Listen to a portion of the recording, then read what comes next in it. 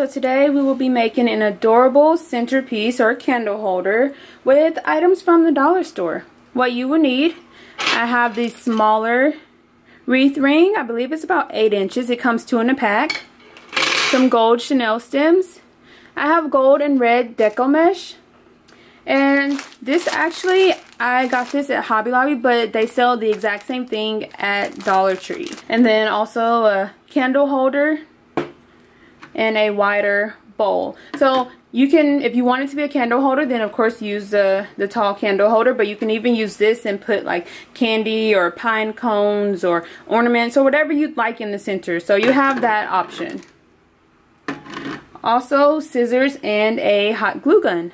Alright, let's get started. So I've cut about a roll and a half of gold and a roll and a half of red deco mesh into 8 inch long pieces. Now I'm going to put the pieces into bundles of three. Now you can do bundles of two, bundles of four, whatever you'd like, but I chose to do bundles of three. And then we're going to get all the bundles together and then we'll start placing it on the ring. So I just think it's easier to make all of the bundles first because it makes the process, I feel like it makes the process go faster when you start placing them. So for the bundle, you need three pieces of deco mesh and a chenille stem that's cut in half. So I have red, gold, red. And then the next time I'm going to do gold, red, gold. And kind of alternate it back and forth. So you take your piece. And here's another option. You can roll it in a curl or roll it, roll it as a diagonal. So at the diagonal, it will look like that. It's longer, pointed. So that's one option. But I think I'm actually, for this centerpiece, just going to roll it in a cute little curl just like that. And then I'm going to do the same with the gold. Just like that. And I'm like crisscrossing them. Then the red. Again I'm using three pieces of 8 inch long deco mesh for each bundle but you can use more or less. It's completely up to you. You can do gold white and red or you can do red white and green. So just have fun with it so you have three pieces. I don't have them on top of each other. They're kind of crisscross. Going to scrunch it together in the center. Take my half of a chenille stem, twist it. And then you can kind of adjust it. Just like that. So cute. I'll do another one. And again, remember I said I'm alternating. So gold, red, gold. And one half of a chenille stem.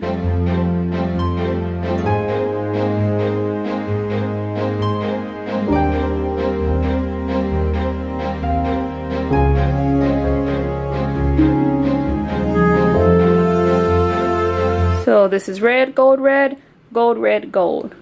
Just like that. So you'll need 54 pieces of deco mesh, 3 pieces in each bundle, and we're going to have a total of 18 bundles. 6, 6, and 6 in each of the three sections.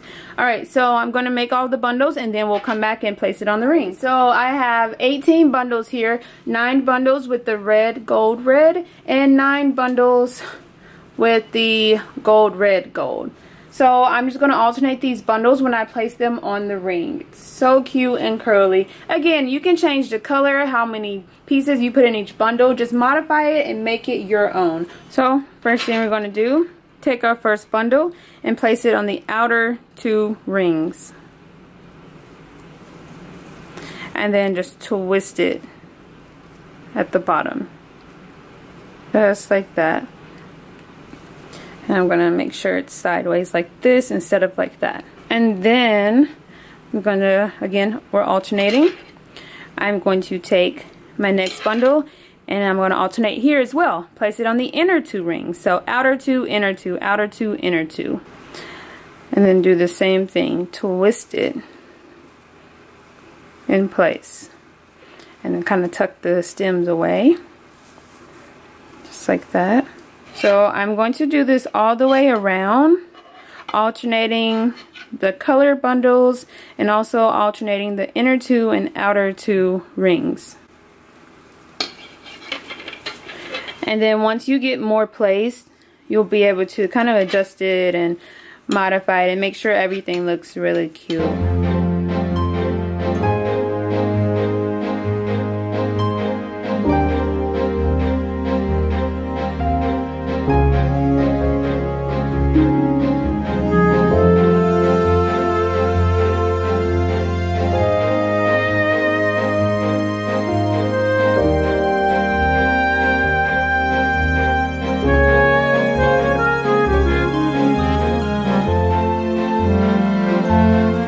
Okay, so this is just one section.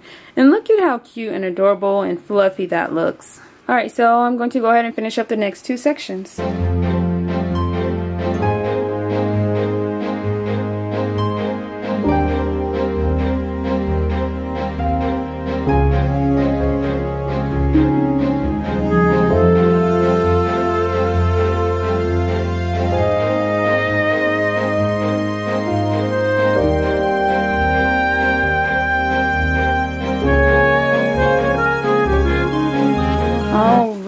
So I have all 18 bundles in place.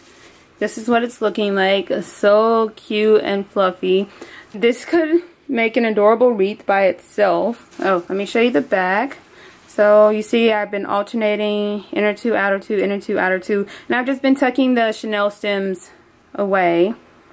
So six in each of the three sections for a total of 18. So cute. just have to move everything over if you're going to use the bowl, you could just put the the bundles on only the outer ring. That'll give you a little more space in the center. But I like to be able to use it as a centerpiece or a candle holder. So uh, I just like to um, be able to use it for multiple things. So I'm going to show you how it looks as a centerpiece and a candle holder. So it's the centerpiece. You have your bowl in the center. I'm just going to add this fun decoration, which that looks cute by itself in my opinion. I think Christmas candy or peppermints will look so adorable. And you could even add like peppermint deco mesh.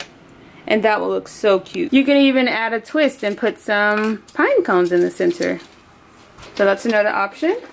Or you could have fun and add some ornaments.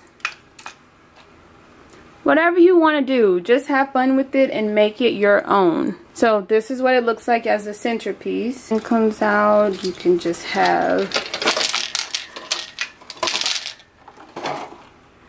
fun ornaments. You could even have candy canes or some kind of candy in the bowl. So just have fun with it. Just do whatever you'd like. I think candy will look adorable in this bowl with the extra little decor. Or again, you can do the bulbs, you can do the pine cones. So I'm also going to show you how to turn this into a candle holder. So just place that in the center and place your candle there. And that looks adorable. But what you can add to it just to give it a little extra flair. And then you have some of this fun, some of this fun decoration. Just take your candle and slide it in there. And that looks so cute and adorable. And if you want to add an extra touch, you add a gorgeous bow. So if you want to see how I made this bow, just check out the link in the description box. And the link will also be at the end of this video. So you just take your bow wire and we're just going to tie it to the back of the candle holder.